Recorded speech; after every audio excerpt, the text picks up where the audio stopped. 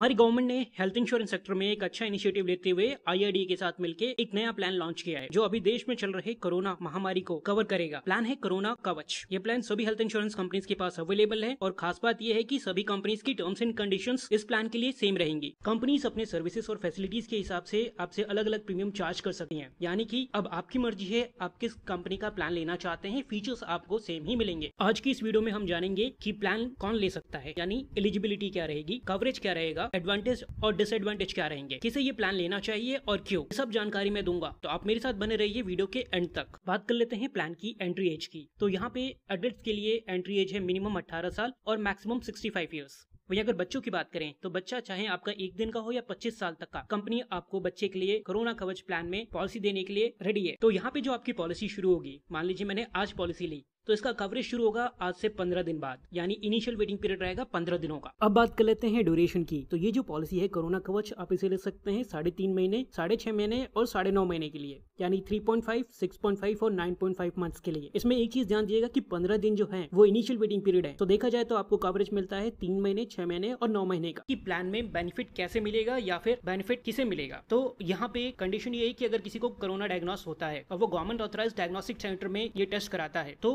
Company आपको ये plan का कवरेज देने के लिए रेडी है। बेसिक कंडीशन आपको पता होगा कि कम से कम 24 घंटे एडमिट होना ज़रूरी है। तो सेम कंडीशन इस वाले प्लान में भी एप्लीकेबल है। कोरोना कवच प्लान में भी आपको कम से कम 24 घंटे तो एडमिट होना ज़रूरी है। तभी आपको क्लेम मिलेगा। अगर हॉस्पिटल रूम और आईसीयू चार्जेस की तो ये आपको एक्चुअल एक्सपेंसेस जो होते हैं, जितना भी आप खर्चा करेंगे, आपके कवरेज के अमाउंट तक मैक्सिमम कंपनी देने के लिए तैयार है। आपको ये पता हुआ कि कंपनी कंज्यूमेबल्स का खर्चा नहीं देती है। यानी कॉटन सिरेंज ग्लव्स बट यहाँ पे स्पेशली अगर आप कोरोना कवच प्लान लेते हैं तो कंपनी आपका पीपीई किट का खर्चा ग्लव्स या फिर और भी ऐसे कुछ एक्सपेंसेस जो होते हैं, जो जनरली कंज्यूमेबल्स में में आते हैं, उसका खर्चा कंपनी देने के लिए तैयार है। आपको कोरोना कवच प्लान में, जो कि generally health insurance company cover नहीं करती है। कोमोर्बिडिटी यानी कि अगर आपको एक बीमारी के साथ कोई और बीमारी पहले से है तो यहाँ पे कंपनी इसका भी खर्चा देने के लिए तैयार है। मान लीजिए मेरे कोरोना के इलाज में, जब मैं इलाज करा रहा हूँ, उसी समय मेरे को कोई और इलनेस भी डायग्नोस होती है, जैसे बीपी अस्थमा डायबिटीज़ या फिर अगर मेरे को पॉलिसी लेने से पहले ये बीमारी है और अब जाके चल के मुझे कोरोना हो जाता है तो कंपनी मेरी दोनों बीमारी, यानी कि कोरोना प्लस जो मेरी बीमारी है बीपी अस्थमा डायबिटीज़ दोनों का खर्चा देने के लिए तैयार है इस प्लान में बट मैक्सिमम देगी मेरे कवरेज अमाउंट के बराबर ही। प्री एंड पोस्ट हॉस्पिटलाइजेशन की बात करें तो यहाँ पे आपको प्री हॉस्पिटलाइजेशन मिलेगा पंद्रह दिन का और पोस्ट हॉस्पिटलाइजेशन तीस दिन का। अगर आपको नहीं पता कि प्री और पोस्ट हॉस्पिटलाइजेशन क्या होता है तो ऊपर आप आई बटन पे क्लिक करके वीडियो चेक कर सकते हैं। मैं पहले ही इसके बारे में बता चुका हूँ। एंबुलेंस के लिए कंपनी देगी आपको दो हज़ार रुपए पर हॉस्पिटलाइजेशन, यानी हर बार हॉस्पिटल जाएँगे तो आप दो हज़ार रुपए तक की एंबुलेंस ले सकते हैं। अब बात कर लेते हैं क्लेम की। तो क्लेम अगर आप नेटवर्क हॉस्पिटल में है तो हंड्रेड परसेंट कैशलेस मिलेगा और वहीं अगर आप नॉन पैनल हॉस्पिटल्स में है तो फिर आपका क्लेम जो होगा, वो होगा रीइम्बर्समेंट यानी पहले आप अपनी जेब से खर्च करेंगे, बाद में कंपनी आपको पैसा रिटर्न करेगी। अगर आप अपने कोरोना कवच प्लान में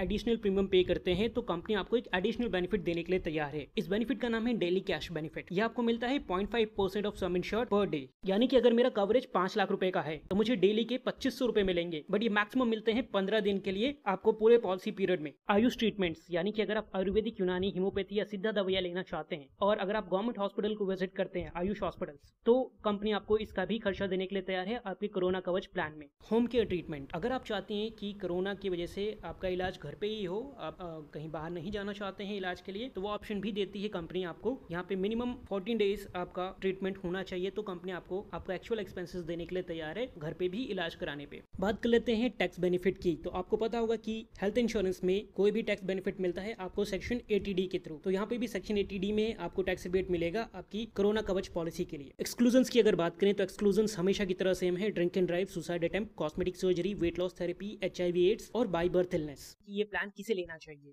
अगर आपके पास पहले से हेल्थ इंश्योरेंस पॉलिसी है और अगर आपका कवरेज कम है तो मैं रिकमेंड करूँगा कि अलग से एक कोरोना कवच प्लान लेके चलिए।